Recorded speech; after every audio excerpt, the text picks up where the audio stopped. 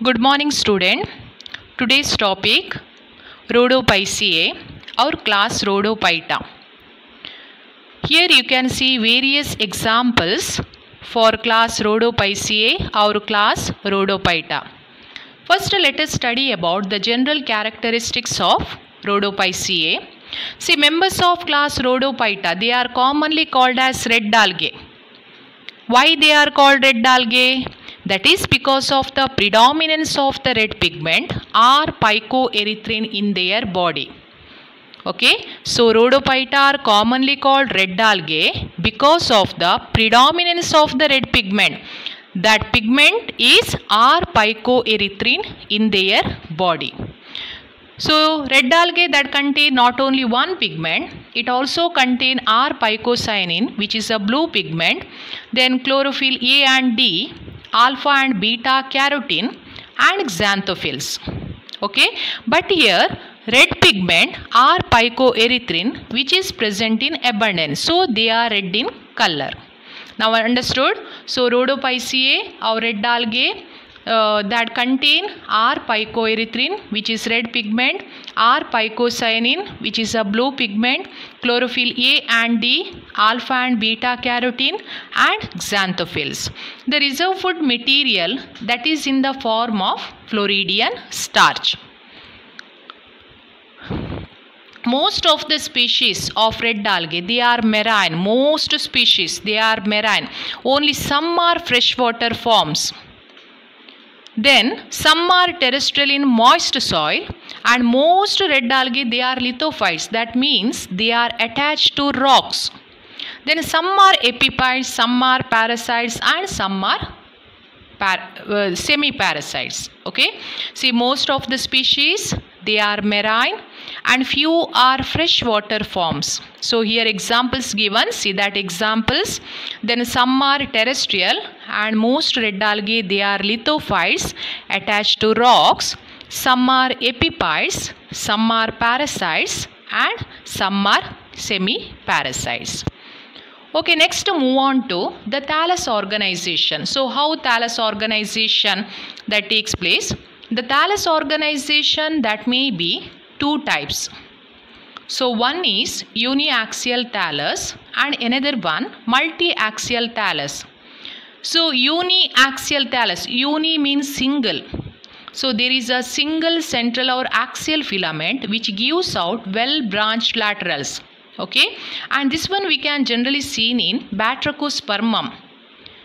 Multi-axial thallus means here mass of central or axial filaments and each filament gives out lateral branches. And this one we can see in Polysiphonia. So got the point here? Again I'll repeat this one. Uniaxial thallus means here only, only one our single central or axial filament which gives out well branched laterals and multi-axial thallus means there is a mass of central or axial filament and each filament gives out lateral branches. Okay? Next reproduction. The reproduction takes place by means of vegetative asexual and sexual method. So reproduction that is takes place by vegetative method asexual and sexual method so vegetative reproduction means that is takes place by fragmentation and asexual reproduction that is takes place by production of uh, different types of spores like monospores, neutral spores and polyspores. So here mon only one monospores given. Uh, and uh, not only monospores also it produces some other kind of spores like neutral spores and polyspores okay so vegetative reproduction that is takes place by fragmentation. And asexual reproduction that takes place by the production of various kinds of spores. Monospore neutral spores polyspores. Then sexual reproduction that process is complex. Okay and here it has a high degree of oogamy so sexual reproduction that is called oogamous See here, you can see the structure that is what is spermatangia and this spermatangia that produces male reproductive cells that is called spermatia and here you can see carpogonial okay? Here that produces female reproductive cell that is called carpogonium understood. And they undergo fertilization and that is responsible for the reproduction.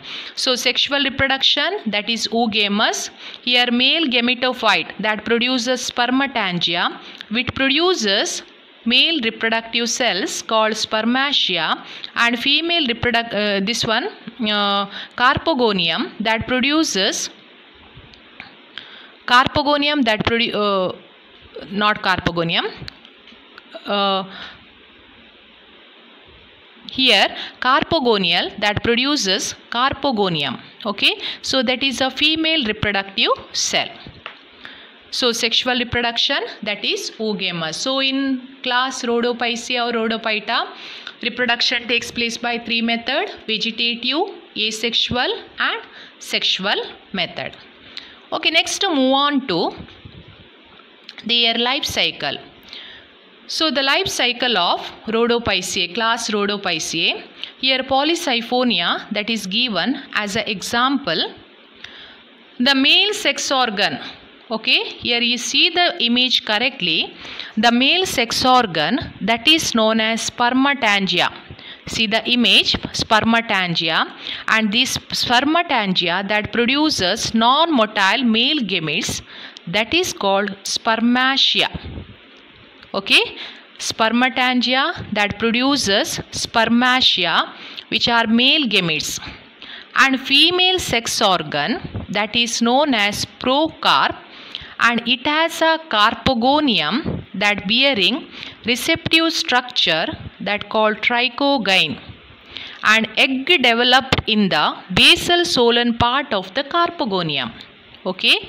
Try to understand here. Spermatangia that produces spermatia that is a male gamete cell.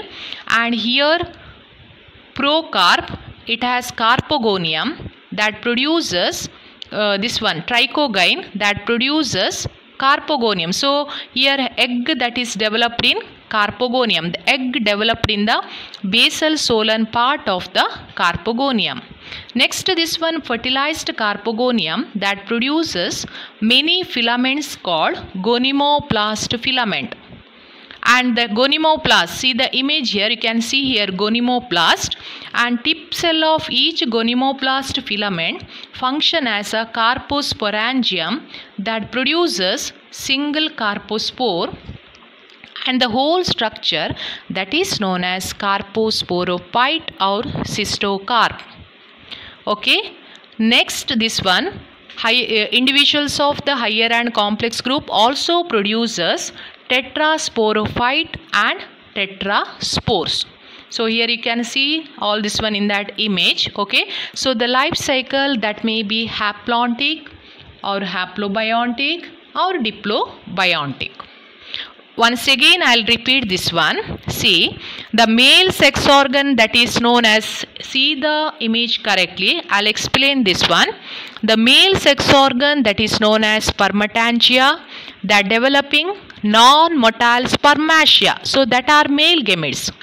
Then female sex organ that is known as procarp and it has carpogonium that bearing receptive structure that is called trichogyne the egg developed in the basal solan part of the carpogonium. Then fertilized carpogonium that produces many filaments that is called what? Gonimoblast filament. And the tip cell of each gonimoblast filament that is function as a carposporangium that producing single carpospore okay? So you can see in this image carpospore and the whole structure now that is known as carposporophyte or cystocarp Next, individuals of the all higher and complex group, they also produces tetrasporophyte and tetraspores. Okay? So here in this way one cycle that is what completed here. The life cycle that may be haplontic haplobiontic or diplobiontic. Okay next to move on to classification of rhodophyta The class Rhodophyta that has been divided into two subclasses. See here, one is Bangioideae and Florideae. Okay, class Rhodophyta that has been divided into two subclass Bangioidea and Florideae. Let us see what are the general characteristics of Bangioideae. Here you can see the example, Porphyra that is given as an example. Thallus is smooth to greatly convoluted blade that is attached to the substratum by a disky form or cushion like hold fast. Asexual reproduction that is by the production of monospores here. Sexual reproduction that is directly division of vegetative cells and cells contain one or two chromatophores and it have large centrally located pyrenoids okay? So these are the general characteristics of class bangioideae next class florideae. So see the image here. The forms are always multicellular. Plant body is filamentous. Then filamentous filaments may aggregate to form a um, pseudo parenchymatous or flat thallus then presence of pit connections in between the adjacent cells here. Auxiliary bud formation also takes place and sexual reproduction that is very complex that means oogamous then male spermatangium female reproductive structure carpogonium okay? Plants are mostly marine. So these are the general characteristics of florideae okay next to move on to polysiphonia which is one of the example for class Rhodophyceae or Rhodophyta. So we'll study in detail about polysiphonia. First let us see what is the taxonomic position of polysiphonia. So polysiphonia that comes under division Rhodophyta, class Rhodophyceae, subclass Florideae, order Ceramiales and family Rhodomelaceae. So again I will repeat that comes under division Rhodophyta, class Rhodophyceae, subclass Florideae, order Ceramiales and family Rhodomelaceae. Okay. So common Indian species that have been reported reported uh, one is Polysiphonia elongata, Polysiphonia polycarpa, Polysiphonia urceolata, Polysiphonia vegata. So these are different Polysiphonia species that have been reported in India. Let us see about their occurrence.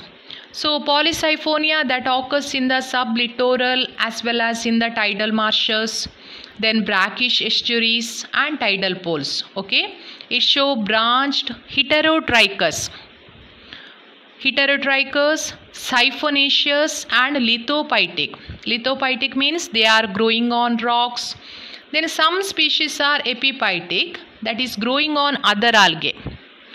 Okay, commonly they are found in littoral or sublittoral zones and in India they are found in western and southern coast. They are grow as lithophytes, rocks or stones. Then some species they are epiphytes and some species they are uh, some species uh, they are growing uh, they are epiphytes means they are growing on other algae. Okay? They are uh, heterotrichous they show branches and they are siphonaceous okay next move on to their thallus structure. So here you can see the structure see the image correctly. The plant body is bush like and red dark blue colored. Then it is a multi-axial in habit and few centimeters to several inches in length. The plant body is heterotrichous why they are called heterotrichous that is because plant body is differentiated into basal prostrate and aerial erect, erect system the prostrate part of thallus that is attached to the substratum with the help of many elongated and aseptated rhizoids.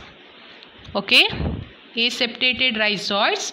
These rhizoids they sometimes form the attachment disc to, to anchor with the substratum. Then erect or upright system are laterally dichotomously branched. okay so again here see here plant body is bush like then red or dark blue colored.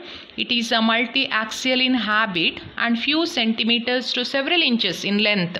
Then plant body heterotrichous heterotrichous means that is differentiated into basal prostrate and aerial erect system. Prostrate part. So here you can see this one. See here this is a erect system of polysiphonia okay and in this image you can see erect system and prostrate system prostrate and erect system of thallus differentiated into prostrate and erect aerial system aerial system. The prostrate part of thallus is attached to the substratum with the help of many elongated and aseptated rhizoids. Here you can see that rhizoids. These rhizoids sometimes form the attachment disc to anchor with the substratum. Erect or upright system, they are laterally or dichotomously branched. Okay, dichotomously branched. Then erect system, that consists of main axis that having long and short branches. The short branches that bear what male and female reproductive structure. Then plant body that is made up of many siphons. Each long branch and main axis consist of central siphon that is made up of many elongated cells arranged one upon the other the central siphon is surrounded by many, many means up to 4 to 20 pericentral siphons. Cells of the central and pericentral siphons are connected with each other by cytoplasmic connection or pit connection. You can see this one in that image. Short branches consist of cells that is arranged in single row and so are unisiphonous. So these are called what? Trichoblast. Once again I will repeat this one. See uh, erect system that consists of main axis that having long and short branches. The short branches bear male and female reproductive structures. Plant body is made up of many siphons. Each long branch and main axis consist of what? Central siphon that is made up of many elongated cells arranged one upon other. The central siphon that is surrounded by many pericentral siphons, cells of the central and pericentral siphons that are connected with each other by cytoplasmic connections or pit connections. Short branches consist of cells that is arranged in a single row and so are unisiphonous and these are called what? Trichoblast. Okay short branches and here you can see long branches. Main axis it has short branches of limited growth or trichoblast and long branches of unlimited growth. Next move on to the cell structure. Okay, so here see the image correctly. Here you can see how the uh, you can see the structure Internally, the thallus is composed of large central siphon that is surrounded by several pericentral siphons. See the image, which one? That circle one.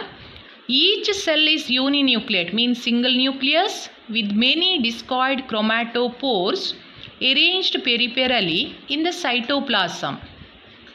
Okay, cell wall is thick here and each cell contains large central vacuole. Cells lack pyrenoids. Then floridean starch is also present in cytoplasm as reserve food material. See here cell structure again I will repeat the cell structure. The thallus is composed of large central siphon surrounded by several pericentral siphons. Okay. Each cell is uninucleate with many discoid chromatophores arranged peripherally in the cytoplasm. Cell wall is thick and each cell that contains a large central vacuole. Cells lack pyrenoids.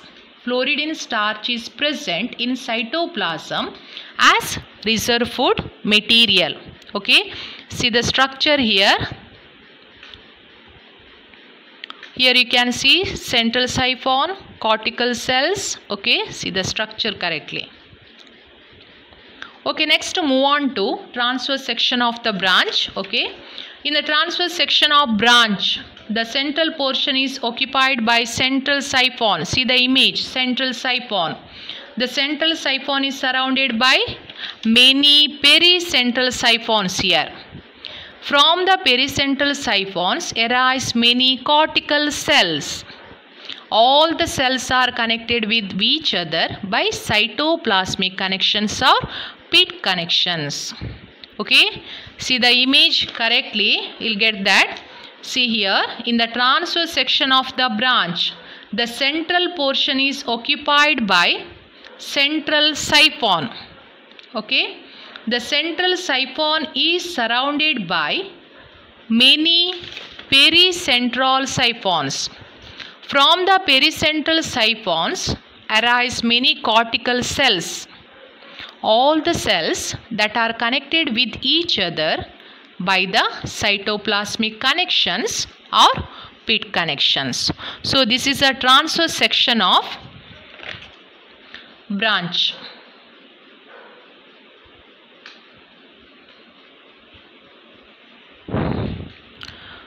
Okay, next we'll continue in the next video. Thank you.